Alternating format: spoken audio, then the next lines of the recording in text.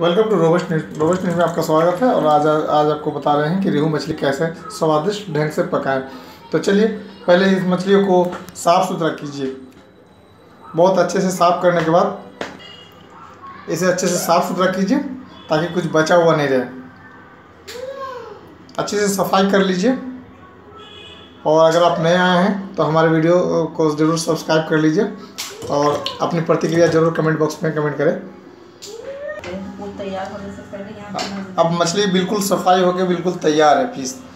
Piece बड़ा या छोटा अपने आदमी के हिसाब से आपके यहाँ जितनी जनसंख्या है उसी हिसाब से छोटा या बड़ा ढंग से कटिंग कर लें। अब आप अपना गैस चला चला लें और कढ़ाई को तैयार कर लें।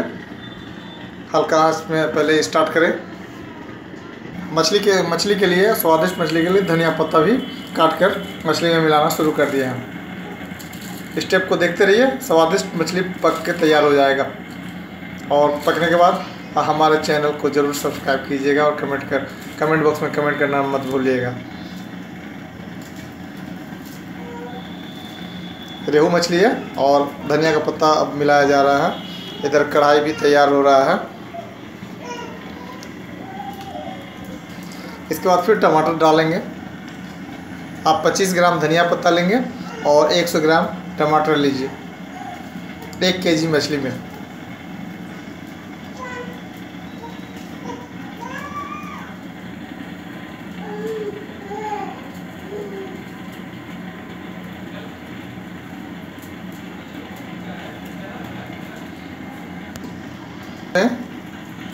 बीस ग्राम हरी मिर्चाई को काट कर लगाएँ।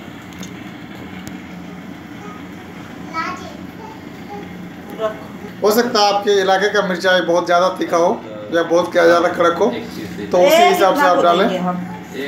क्योंकि हमारे यहाँ का जो मिर्च है उस हिसाब से इसमें दस दस ग्राम मिर्चाई ही काफ़ी है इसलिए हम सिर्फ़ दस ही ग्राम मिर्चाई डालकर तैयार कर रहे हैं।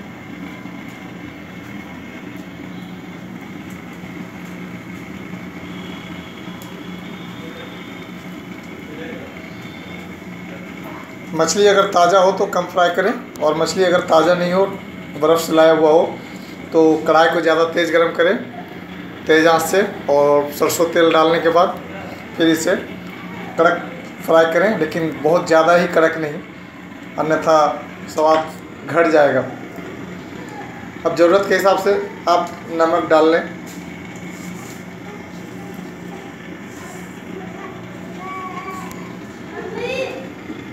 अब आप जीरा और सरसों दस दस ग्राम लीजिए और उसको पीसिए।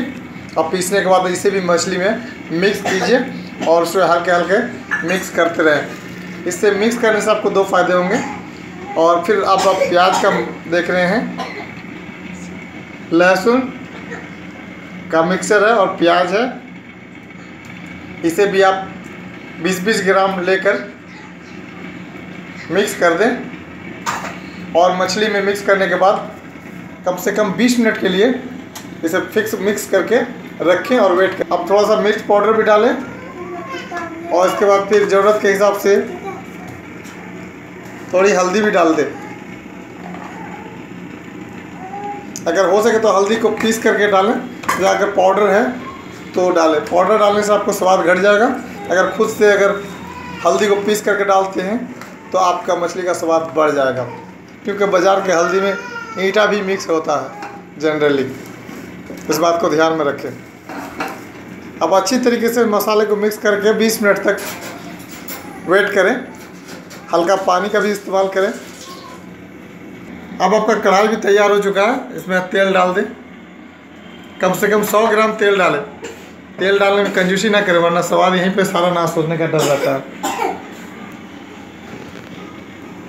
तेल को भी देखिए कि कड़क हो रहा है या नहीं। और फिर इसमें थोड़ा सा सरसों, करीब करीब 10 ग्राम सरसों डाल दें। कड़क की आवाज़ आ रही है। तेल तैयार हो चुका है रेडी हो चुका है फ्राई के लिए। साफ़ सुथरा कलछुल का व्यवस्था करें। और फिर मछली को उठाएँ, क्योंकि 20 मिनट से मछली आपका पड़ा है मसाले में। स्वाद उसमें खिल चुका होगा, स्वाद मछली में आ चुका होगा। रात का समय है। मैं कढ़ाई का तेल दिखा नहीं पा रहा हूँ। आप बस, आपको आवाज़ आ रही है। अब मछली को आप करीब करीब 10 से 15 मिनट तक फ्राई करें। हल्का आँच का उपयोग करें।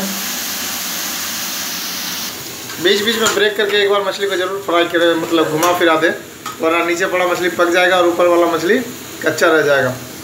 इसलिए इसे दो चार बार कलछुल से उठा पटक कराएँ। मछली में देखिए हल्का पीलापन आ रहा है या नहीं? जब पीलापन आ जाए तो समझ लीजिए कि अब आपका मछली तैयार है। तैयार हो रहा है सॉरी अब आप छोलनी का इस्तेमाल कम करें, छोलनी का इस्तेमाल ना करें वरना मछलियाँ टूट सकती है। मछली बिल्कुल स्वादिष्ट हो चुका है, बीस मिनट हो चुका है। मछली बिल्कुल अब बन कर तैयार है। अब इसमें ऊपर से पानी ना दें और परोसना शुरू करें प्लेट में। खाने के लिए बिल्कुल ही तैयार हो चुका है।